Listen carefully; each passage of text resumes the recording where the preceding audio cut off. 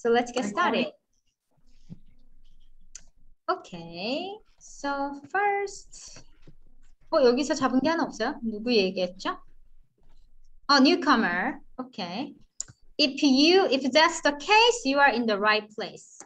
한번 잡아드릴까? If that's the case, 만약 그런 경우라면 당신은 지금 제대로 와 있으세요. So she said, uh, I heard that this class I can have a lot of chances to speak English. 영어로 말할 기회가 많다 그랬어요. 만약 그걸 원하신다면 제대로 찾아오셨어요. 이런 표현입니다. 일단 어떤 수업 끝나고 좀 물어보겠지만 어, 많이 힘드시죠? 오케이. 그리고 경민님의 스토리에서 있었고요. When it comes to volleyball, uh, she is second to none. She is second to none. 무슨 뜻이었죠? 둘째가라면 설- 둘째가라면 서럽다. 그죠? 뭐, 타의 추종이 불가능하다. 이렇게도 파파부가 해석하더라고요. 둘째, 그에겐 둘째, 아무에게도 2등일 수 없다. 그러니까 정말 1등이다. 이런 표현이고.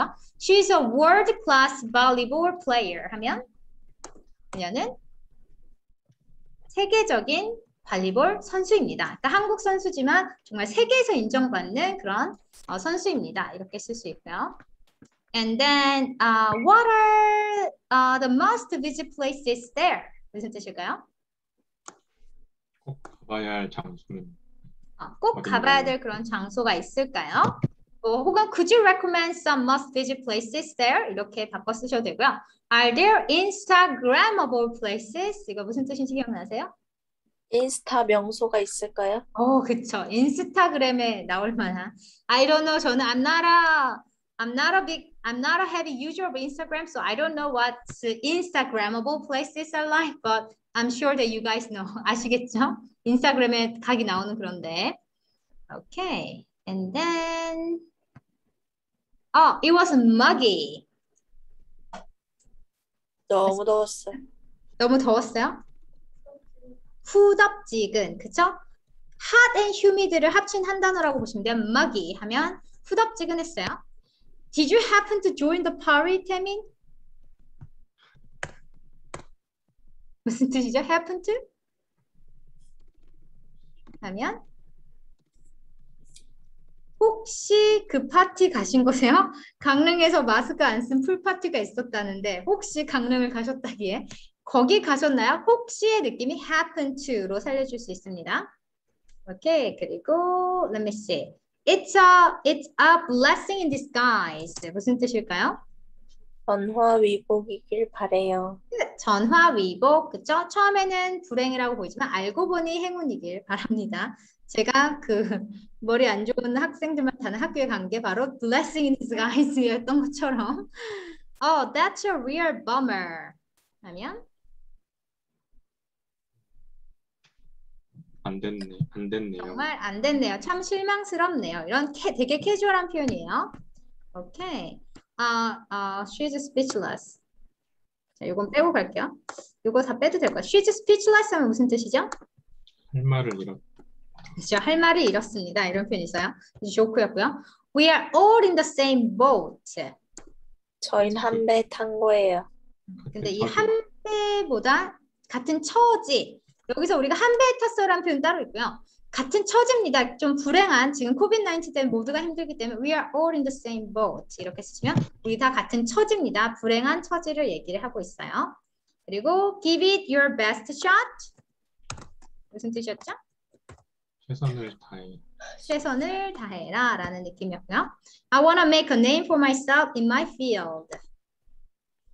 제 분야에서 이름을 제 분야에서 이름을 날리고 싶어요. 명성을 날리고 싶어요. 이런 표현이 있었고요. And then he's exemplary.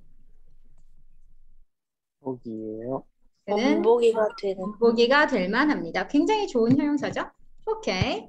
So that's it for today. Exemplary. 우리 example이라고 하잖아요. 예시. 그래서 예시가 될 만한, 본보기가 될 만한 이런 표현이에요. So expression. So 오늘 배운 표현 중에 남으신 표현이 뭐가 있을까요? 경민 is exemplary. 오, 오케이. Exemplary. What about 태민? 아, 태민 too. Okay, awesome. played hard. He played hard. Anything else?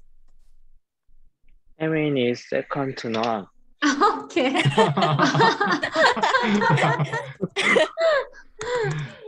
Known when it comes to pool parties.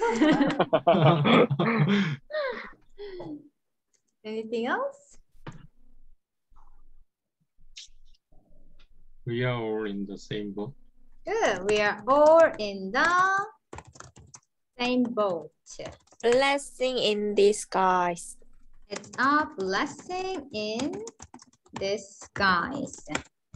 Bu- bummer. Bummer. Oh, what a bummer. That's a bummer. 참 Stop 실망이네요. bugging me. Stop bugging me. 좀 그만 좀 귀찮게 굴어 이런 느낌 있고요. Uh, you should. You should best shot. 음흠. Give it your best shot. 최선을 다해야 돼. You should give it your best shot. 음흠. It's muggy. 오케이. 엄청난 많은 생각 중에 good job. 어, 살아남으셨어요. 제가 이름을 부르기 전에 대답하셨어요. Awesome. 오케이, great job. 우리 어, 모두 고, 고생 많으셨고요. 혹시 셀프 스터디 이번 달에 하시는 분